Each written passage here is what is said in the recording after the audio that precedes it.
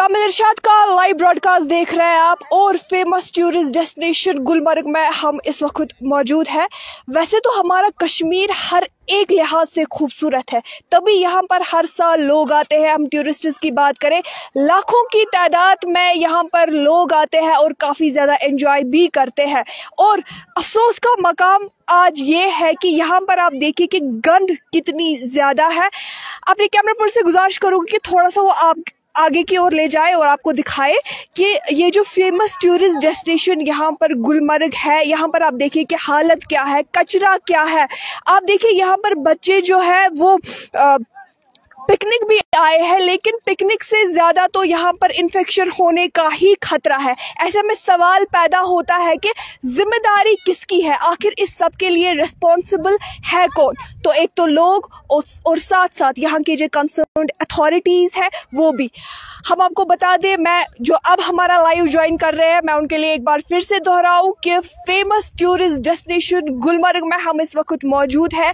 वैसे तो कश्मीर के खूबसूरती का क्या कहना फिर वो श्रीनगर का डल लेक हो, या फिर पहलगाम हो, गुलमर्ग हो, कुछ भी हो। लेकिन आज आप देखिए कि यहाँ पर बड़े ही अफसोस के साथ कहना पड़ रहा है कि ये हमारे कश्मीर के लिए शर्म की बात है कि यहाँ पर आप गुलमर्ग की हालत देखिए।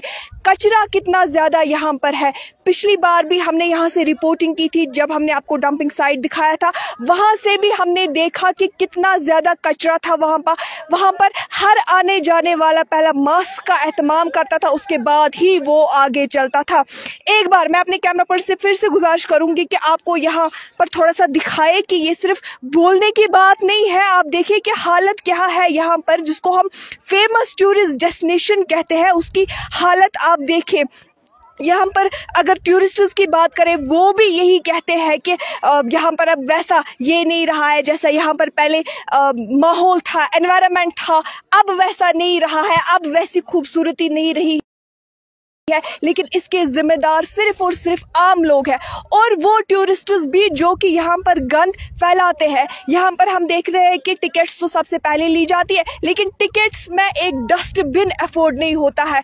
किसी भी जगह पर यहाँ पर डस्टबिन नहीं लगा हुआ है जो कि बच्चे यहाँ पर पिकनिक मन, वगैरह मनाने आते हैं वो उसमें वो कूड़ा कट करकट जो है वो फेंके।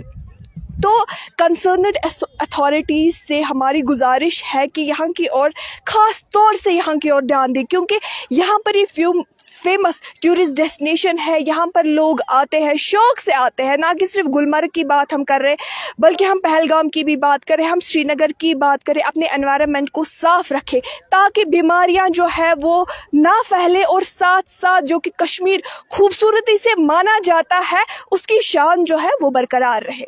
दीगर अपडेट्स के लिए आप हमारे साथ बने रहिए और देखते रहिए तामिल इरशाद